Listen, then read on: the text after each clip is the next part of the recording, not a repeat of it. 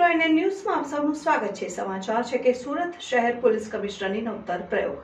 ગુનાખોરી સાથે સંકળાયેલા